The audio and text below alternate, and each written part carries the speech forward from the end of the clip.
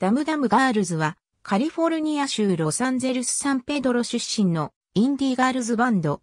ガレージ色の強いローファイサウンドのロックを奏でる4人組。リードボーカルの DD のソロプロジェクトとしてスタート。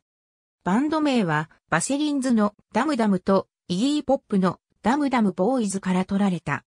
2008年末には彼女の自主レーベルズーミュージックから5曲入りの CD-R をリリース。その後もアナログのシングルや EP をリリースし、注目を集め、2009年7月にサブポップと契約した。2010年、ファーストアルバム、I Will Be をリリース。ピッチフォークや NME といった音楽メディアから高い評価を受けた。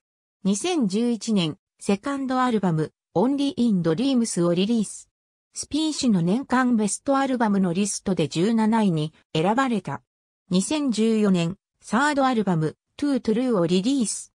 2016年1月28日、DD は、ダムダムガールズの終了と、新たなプロジェクトである、クリスティンコントロールのスタートを発表した。ありがとうございます。